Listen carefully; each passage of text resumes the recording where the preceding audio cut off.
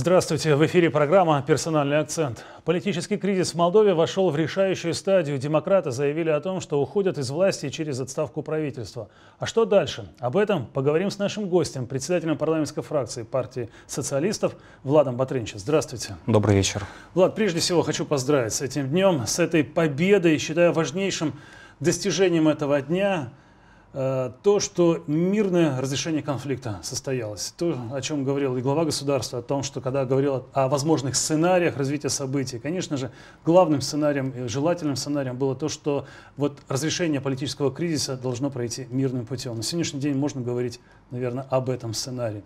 Поздравляю вас, вашу фракцию, партию социалистов с этой победой. А, спасибо большое, Станислав. Ну, конечно, это лишь э, промежуточная победу, потому что мы должны понимать, что еще предстоит очень большая работа по демонтажу режима Плохотнюка. Ну а поздравлять, э, я думаю, что нужно прежде всего граждан Республики Молдова, потому что э, существовал мощнейший запрос именно от простых граждан вот, на то, чтобы партия социалистов э, предприняла усилия по изменению ситуации именно с блоком АКУМ. Да, было очень непросто, но тем не менее, знаете, что называется, вот есть в молдавском языке, час учил э, дело до испризычили, да, в 12 час. Вот, это произошло и у нас, э, вот, все-таки сумели договориться и начали работать э, довольно оперативно, эффективно. А, вот, и, конечно, хотелось бы поблагодарить прежде всего граждан, то, что, во-первых, мощнейший общественный запрос был, а во-вторых, мощнейшая общественная поддержка вот наших первых шагов а, вот в этом большинстве с блоком АКОМ, она наверняка определила и поддержку и дипломатов, и поддержку а, наших международных партнеров, потому что они, безусловно, делали замеры, мониторили в том числе даже социальные сети, общественное мнение. И, конечно, это во многом определило и вот сегодняшнее решение демократической партии, потому что они понимали, что дальнейшие шаги лишь усугубили их э, положение, э, и они понимали, что есть э, мощнейшая поддержка общества. И поэтому гражданам нашей страны хочется сказать большое спасибо и поздравить вот с этой ну, промежуточной пока победой. Вот. Но при этом хотелось бы относиться к этой ситуации с таким осторожным оптимизмом, потому что мы должны понимать, что, во-первых, сегодня демократы еще сохранили целый ряд э, важных позиций, э, сохранили систему и прежде всего сохранили контроль над Конституционным судом. Если проанализировать их заявления, то они сказали, что да, они, правительство подает в отставку, вот, но при этом в любом случае эм, они несколько раз отметили, что социалисты с блоком АКУМ находятся вне конституционного поля, вне правового поля. Это говорит о том, что будут еще какие-то определенные их торги с международными партнерами, будут искать определенные гарантии лично для Плохотнюка.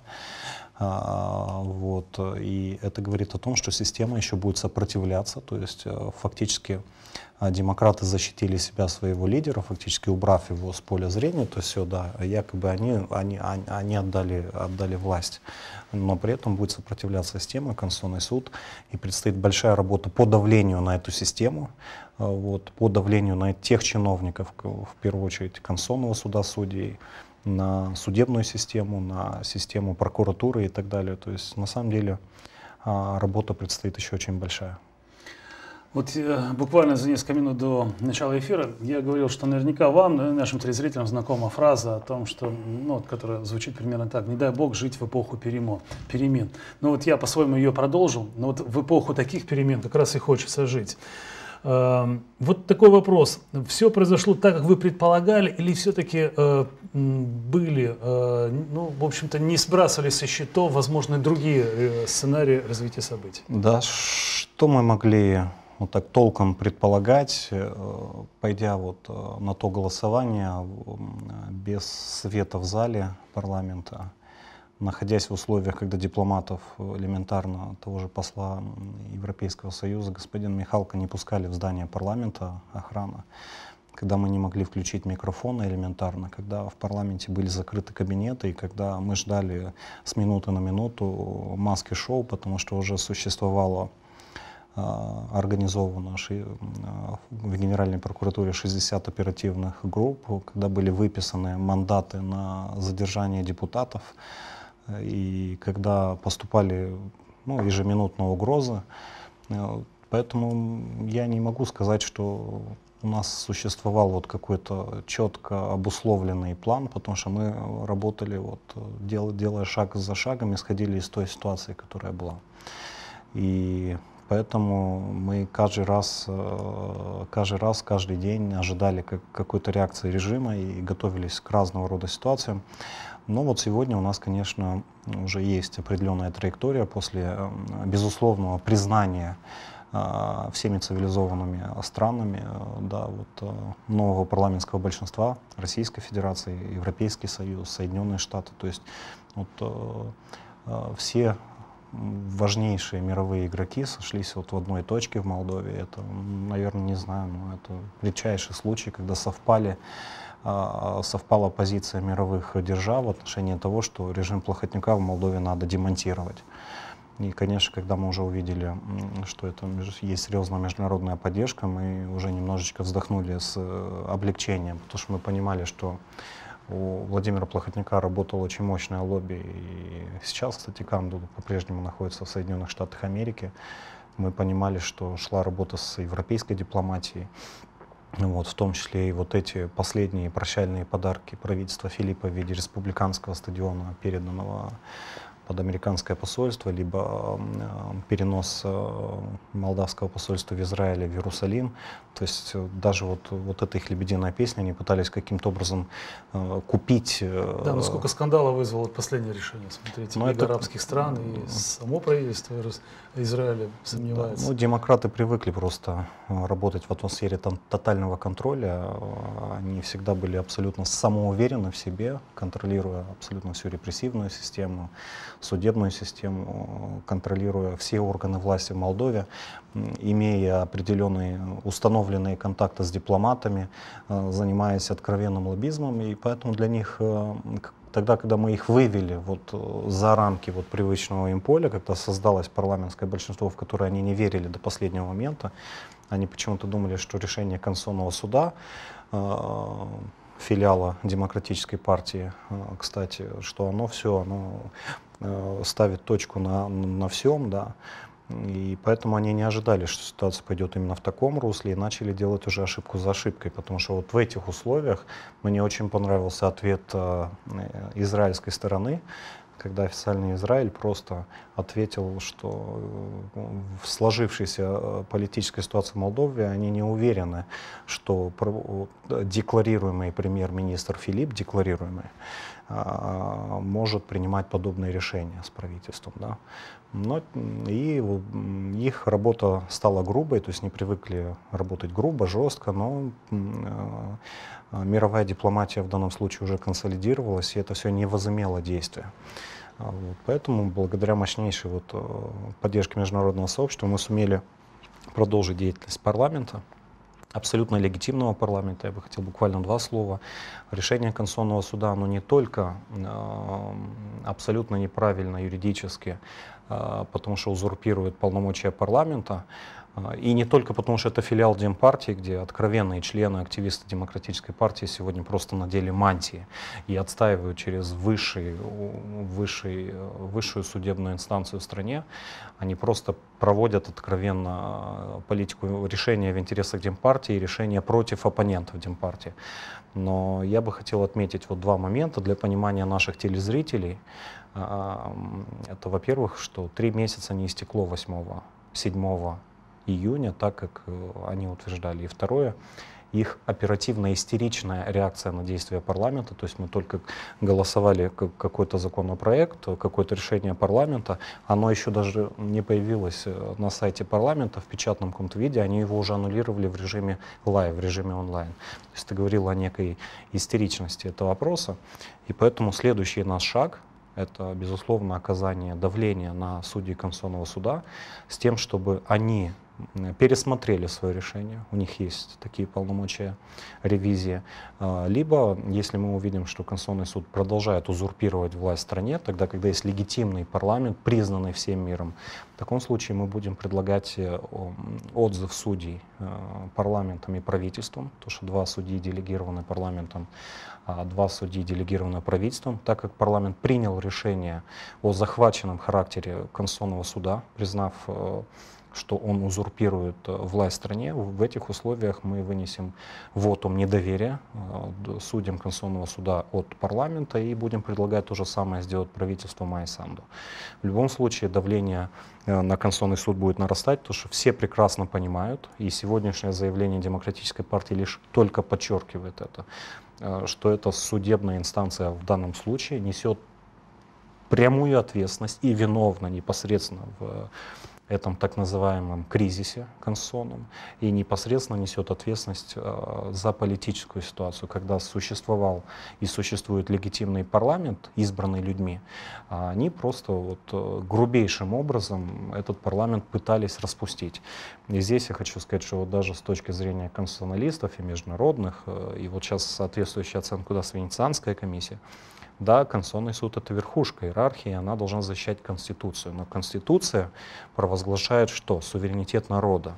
А парламент э, — это орган, посредством которым народ реализует свой иммунитет. Поэтому парламент — это народ, э, который создал Конституцию. И, и в первичном данном случае именно народ, суверенитет, парламент. А Конституционный суд в данном случае, он лишь должен защищать конституционный режим. То, что сделал наш Конституционный суд, это абсолютное нарушение всех, всех этих норм. Да. Ну, вот кто-то из моих коллег э, отметил, что Конституционный суд в эти дни выдал столько решений, сколько, наверное, за, за полгода не, не выдавал. И Они вот, сами а себя сейчас, скомпрометировали. Да, этим самым как бы выдали себя.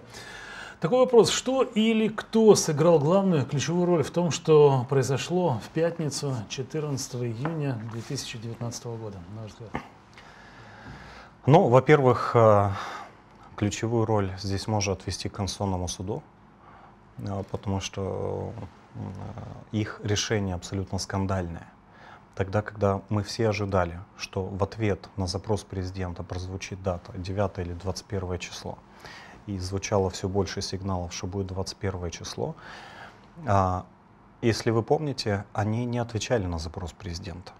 И 7 числа июня они отклоняют запрос президента и удовлетворяют запрос СЫРБу о том, что 7 числа, то есть сегодня, мы, судьи Конституционного суда, решаем, что последний день. Что сегодня же и последний день. А,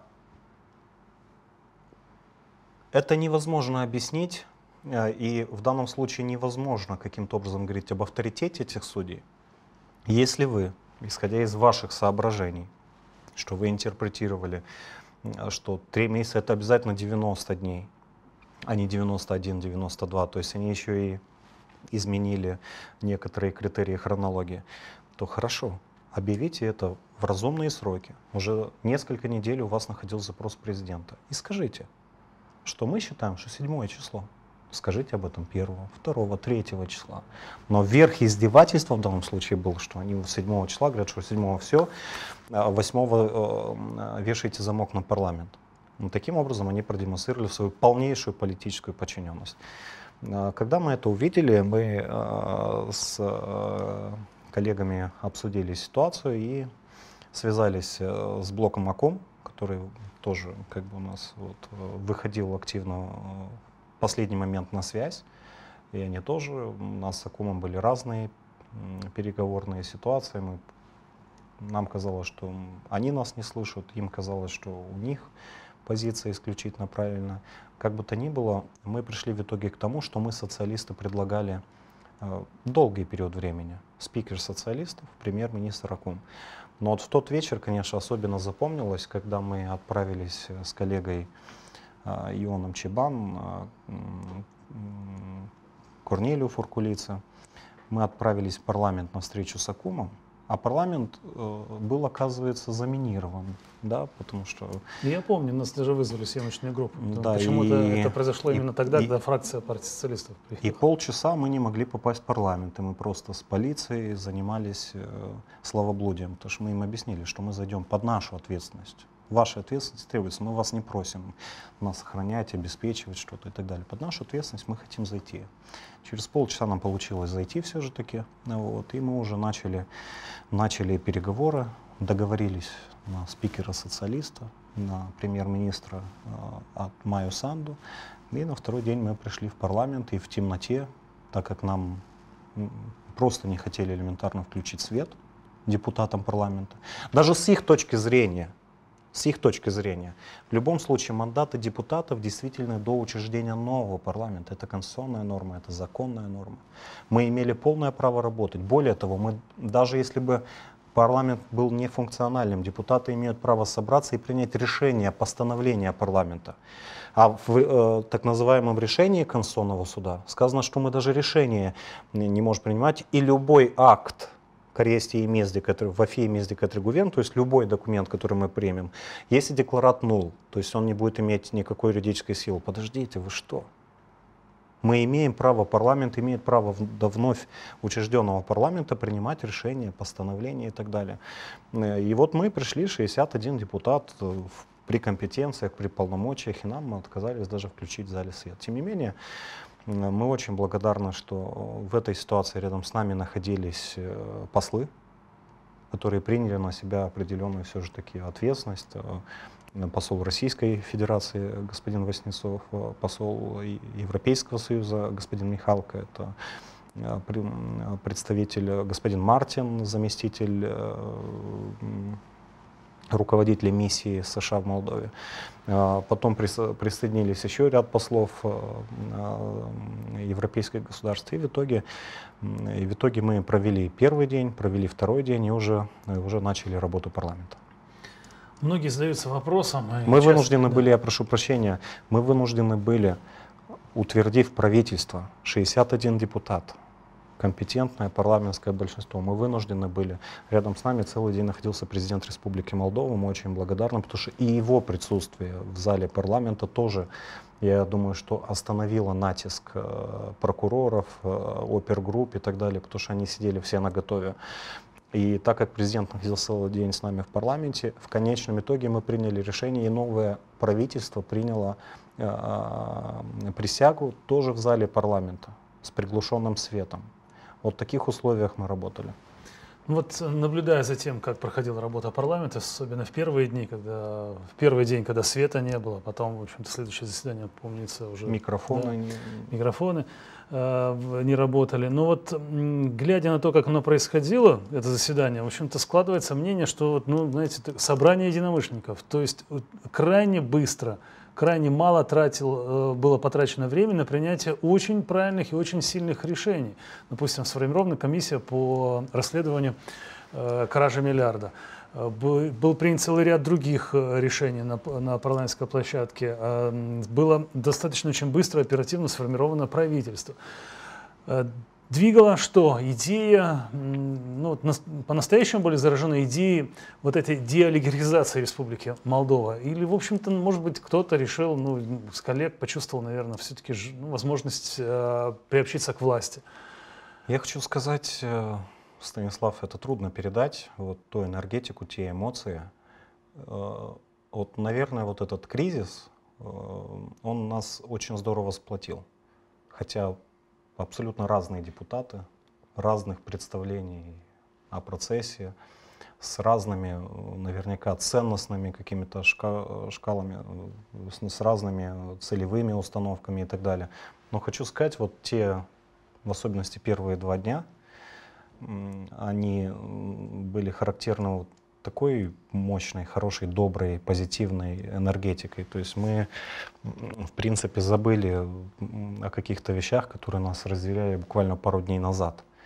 Да, и вот все решения, которые принимались абсолютно быстро, оперативно, единогласно, в таком хорошем, в хорошем темпе и так далее, И при этом хочу сказать, хотя я абсолютно уверен, что были попытки выдернуть каких-то отдельных депутатов, были попытки давления, шантажа, получали смс, находили, ну, это я как-то в прошлый раз говорил, не хочется э, вот из этого э, какие-то истории э, делать, кичиться тем, что там вот угрожают, там не угрожают и так далее. Но при этом я абсолютно уверен, что попытки были со стороны режима сделать так, чтобы не было 61 депутата. Но все 61 депутат присутствовали, все решения абсолютно голосовали, и при этом все было настолько позитивно и настолько уверенно, что это, безусловно, для меня оставит навсегда неизгладимое впечатление. Забыли о всех каких-то предыдущих ссорах, о всем, что разделяло, и сосредоточились на этой повестке дня. Это и комиссия по расследованию кражи миллиардов, которая, кстати, обнаружила, что из парламента исчезли документы комиссии Рейдмана. Есть большое количество вопросов сейчас к целому ряду товарищей. Э, это отставка главы СИБа, это отставка главы Центра по борьбе с коррупцией, это ряд постановлений, ряд решений, это голосование постановления парламента о захваченном характере государства, это постановление о Конституционном суде и вот он недоверие Конституционному суду. Это и отдельные нормативные акты, и при всем я никогда не помню вот из предыдущего созыва, чтобы хоть раз вот была именно вот такая атмосфера. И это очень здорово, и хочется думать, что таким образом мы смогли сплотить и общество именно одной идеей.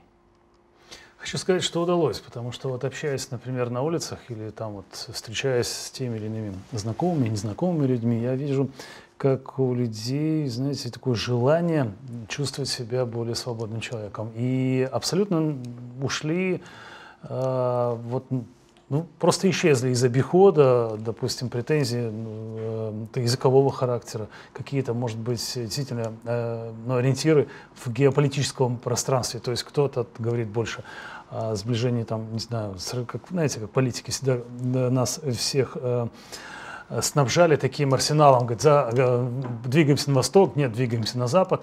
Из обихода человеческого э, обычных людей уже ушло и это. Просто все говорят о том, что сегодня возможно изменить в нашей стране многое к лучшему. Ну, здесь э, наверняка, Станислав, не от э, хорошей жизни, не от того, что мы принимали какие-то неординарные решения. Это произошло естественным образом. И я бы не называл это деолигархизацией, потому что вот такого слова нет ни в русском, ни в молдавском, ни в румынском языке. Я бы назвал это просто общее желание убрать режим Плохотнюка, который подавлял всех и вся, который держал страну в абсолютном страхе, Потому что даже их активисты в территориях, ну посмотрите, а, более 600 прокуроров ну, подписало декларацию в поддержку режима Плохотнюка, а только 20 не подписали.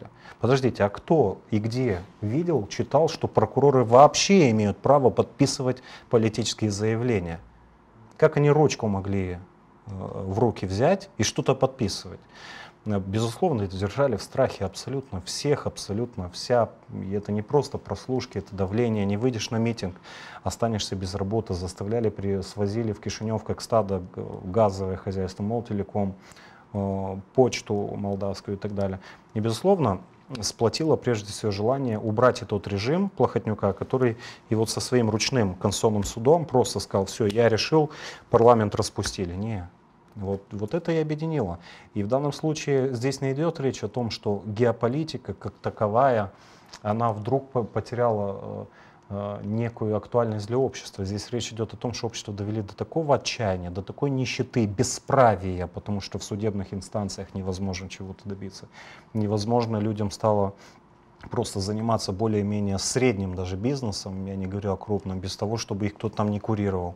Людей довели просто до отчаяния. Самое главное, довели до отчаяния стариков, э, потому абсолютно нищенская пенсия на фоне того, что, что они сделали с ценами, с тарифами, рост бензина, рост всего абсолютно.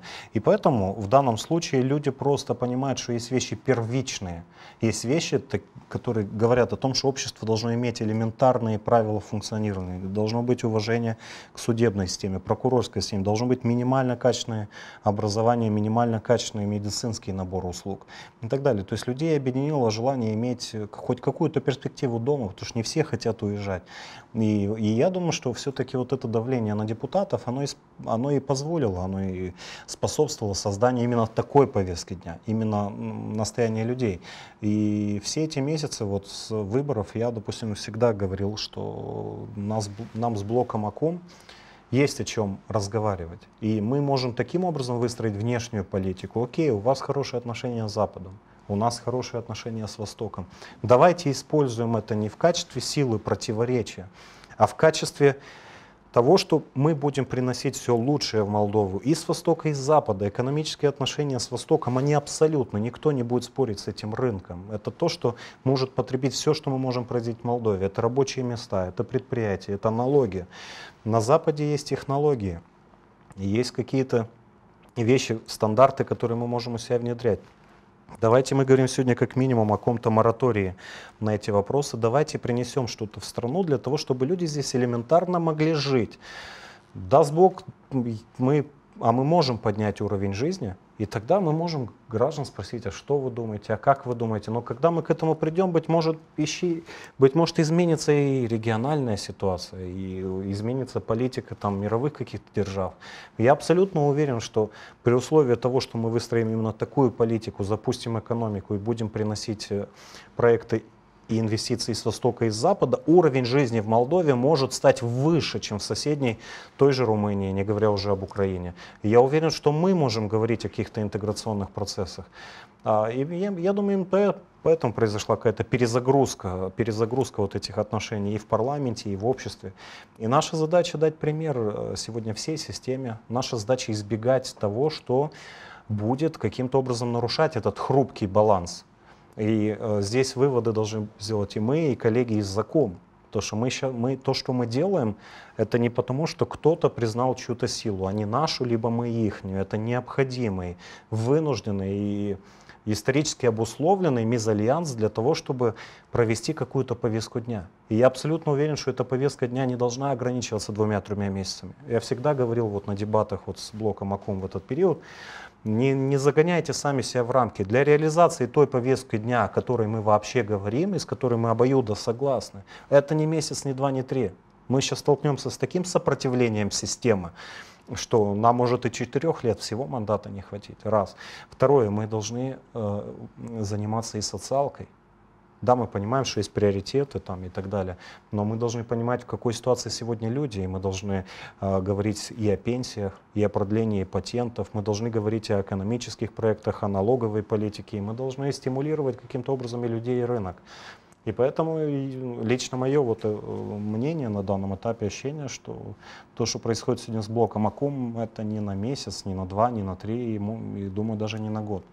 Потому что если мы серьезно будем продолжать э, эту работу, то задачи надо решать совместно. Вот многие задаются вопросом, хотел задать чуть раньше, но вот задам сейчас. Как, какова, на ваш взгляд, судьба лидеров Демпартии? Что их ждет? Ведь понятно, что они там декларируют возврат на парламентскую площадку, но тем не менее, вот, а, суд народа каков будет, на ваш взгляд? Я думаю, что ждет правосудие прежде всего. И каждому по делам его. Речь не идет о том, мы, в отличие от Плохотнюка, мы не собираемся заниматься охотой на ведьм. Да? А, то есть э, мы не говорим о, как, о, о какой-то вот тотальной иллюстрации сейчас. Речь идет о том, что мы должны разобраться с рядом вещей. А, когда захватили органы правосудия, правопорядка и прокуратура, эта вещь категорически противоречит этим надо разбираться. Парламент создал комиссию по... И первая следственная комиссия, это комиссия по расследованию банковской кражи. И поверьте, что потянется очень много всего, потому что не, невозможно была банковская кража без соучастия парламента и правительства, которые изменили законодательство о национальном банке и о финансовом рынке.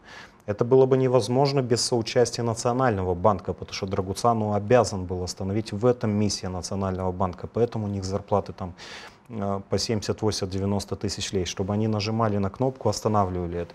Это было бы невозможно без судебной системы, это было невозможно без крыши с прокуратуры и так далее. Поэтому я думаю, что в данном расследовании начнут звучать имена. И речь не идет о том, что э, надо наказывать людей просто потому, что кто-то там шел, был депутатом и, или э, председателем района, к примеру. Есть и там достойные люди. Объясню почему. Потому что многих людей, которые действительно пользовались авторитетом, в своей э, специальности, либо в своей функции. Их заставляли писать заявление на вступление в Демпартию. А есть люди, которые прямо нам говорили, ну я вынужден, у меня семья, я хочу работать, я не могу просто по-другому, меня шантажируют. И люди-то в этом не виноваты, виновата та система, которая заставила человека шантажом что-то писать. Я абсолютно уверен, что есть люди, которые, и таких людей очень много, которые достойно на своем месте себя проявляли. Э, но те, кто занимался эм, извлечением влияния из власти, эти люди должны ответить. если речь идет о том, что сегодня бюджет Молдовы обязан возвращать, а бюджет это значит, что карманы всех людей, украденные миллиарды. Мы в компании вот это говорили, к сожалению, мы не до всех достучались. Ребята, сегодня кто-то приносит вам пакет э, гречки, но ведь эти люди, они вначале обокрали все население и заставили потом публичный бюджет, карманы людей, возвращать в течение 25 лет 25 э, миллиардов мы будем возвращать. То есть мы будем возвращать эти миллиарды с, э, с, с, процентами. с процентами. Да.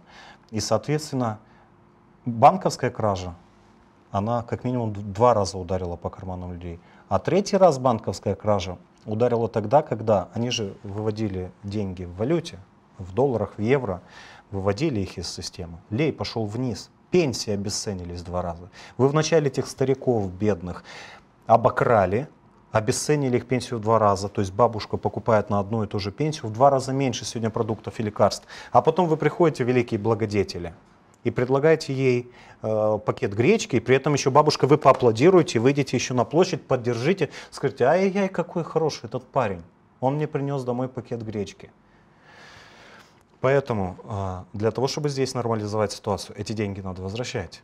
И если с этой ситуацией не разобраться, то возвращать придется кому? Тем же пенсионерам. Потому что за эти деньги, которые мы вынуждены э, из публичного бюджета выплачивать, обслуживать украденные миллиарды, за эти деньги можно было повысить пенсии, зарплаты. За эти деньги можно было делать дороги. За эти деньги можно было бы реабилитировать школы, больницы, создавать инфраструктуру.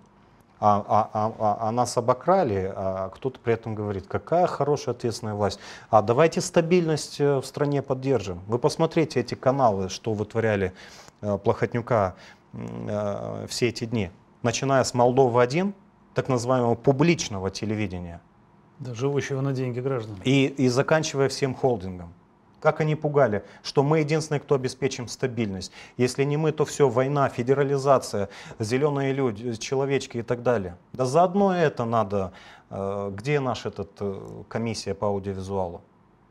Заодно эту пропаганду дичайшую закрыли в начале телевидения, обрезали, оставили свое и пугают людей войной. Если не вы, то война? Да нет, из-за вас война, из-за вас нищета. Понимаете, поэтому здесь э, надо будет привлекать э, к правосудию, к ответственности тех людей, которые это государство вначале обворовали, а потом при, при помощи репрессивной машины и телевидения этими людьми манипулируют. Потому что сегодня очень многие люди в селах не могут понять. Потому что в селах сегодня есть Молдова-1, есть Первый канал, публика ихняя, и, и, и понятно, что людям полоскают э, мозги, сидят эти аналитики дешевые, проплаченные от, а, до, до мозга костей. И каждый день пугали людей, что все, Додон, Донбасс, э, федерализация, зеленые человечки, все пропало. И вот они, это единственный шанс страны.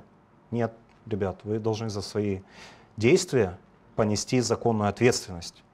И и в том числе, и в том числе и многие люди, которые выполняли в данном случае роль обслуги этого режима, они должны хотя бы от общественному порицанию э, быть подвергнуты. Влад, времени совсем не осталось, но вот все-таки хочу задать вопрос. Я так понимаю, ну, как было объявлено, демократическая партия пойдет в оппозицию. Но будет ли это какой-то оппозицией? Ведь, смотрите, тает на глазах с учетом э, тех вот авиабортов, которые вылетают с Кишиневского международного аэропорта. Мне кажется, их ряды тают.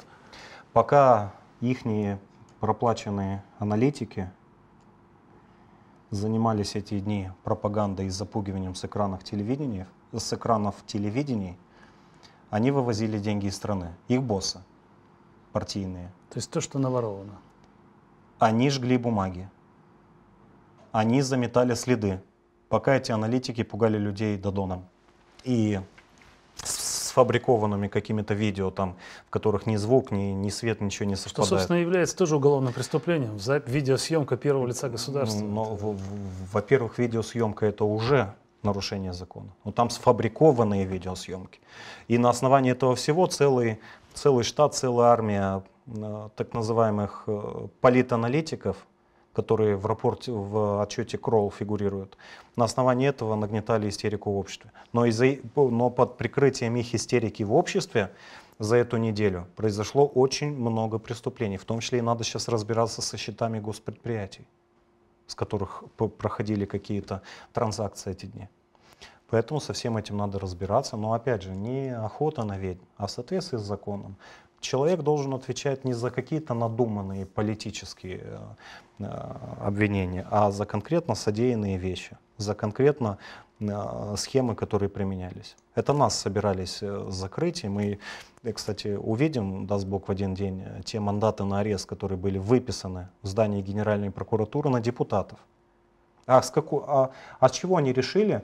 У них вообще такая около, около юридическая дискуссия, полемика была. Если там Конституционный суд распустил парламент, то, наверное, у них уже нет иммунитета.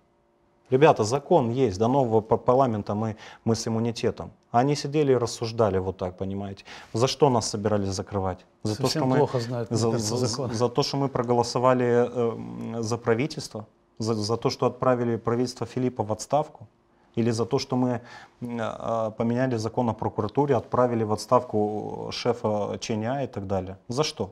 Или с каких пор, или с каких пор прокурор может закрыть рот депутату и лишить его иммунитета? Вот, вот это политические расправы. Слава богу, удержали их зарубежные партнеры. Потому что если бы, не заруб... если бы не зарубежные партнеры, то неизвестно, какой сейчас был бы сценарий, в каких подвалах бы нас держали. Еще один вопрос. Поступает ли какая-то информация вот о партии Шора? Это тоже парламентская организация пока еще? Ну, эта партия обеспечивала, обеспечивала вот эти палатки так называемых протестующих людьми. Вот. Эта партия занималась финансированием определенных вещей в этот период, в том числе и определенные группы с э, Латвии, из других стран э, Евросоюза должны были прибыть в Молдову э, сегодня-завтра для участия в воскресных мероприятиях, специально подготовленные провокаторы. Вот чем занималась эта партия. Я думаю, что в данном случае этим должны заниматься компетентные органы, начиная, с, начиная непосредственно с тех самых банковских дел, которым надо вернуться. И последний вопрос. Воскресный митинг. А, в воскресенье мы планируем марш в поддержку, в поддержку а, новой власти, легитимной власти, легитимного парламента, легитимного правительства. В понедельник мы, в воскресенье мы а, планируем общение с людьми, в этом отношении. И, конечно, очень важно то, что, не знаю, вот вам показать э, а, такое огромное количество там сообщений, звонков, я вот так, такой волны еще не помню. Люди, конечно, хотят как-то поучаствовать, высказаться, и вот поэтому было принято решение вот провести этот марш. А, я думаю, что касается формата, его э, люди получили все публично приглашения в понедельник в 11 сквер парламента, но я думаю, что завтра с утра еще будут дополнительные детали по данному мероприятию. Марш в воскресенье в 11 в здании парламента. Правильно? Не в здании, ну, в, здании, в, в, в, сквере, сквере парламента, mm-hmm. да, на проезжей части. Mm-hmm. Но завтра еще будут детали по этому мероприятию, и э, мы сообщим дополнительно. Ну, ну, конечно, мы призывали всех эти дни обязательно выйти, присоединиться, чтобы весь мир увидел, увидел в данном случае весь молдавский народ и его отношение к, к новой власти. происходящему, да.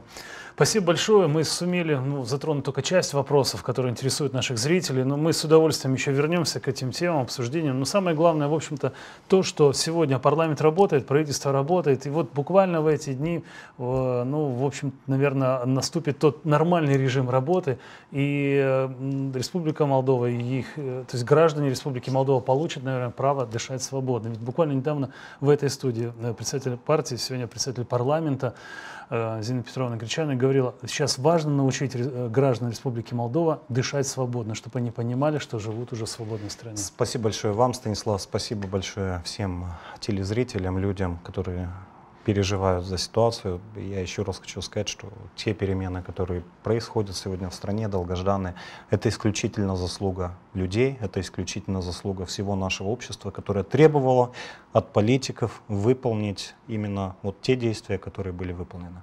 Спасибо.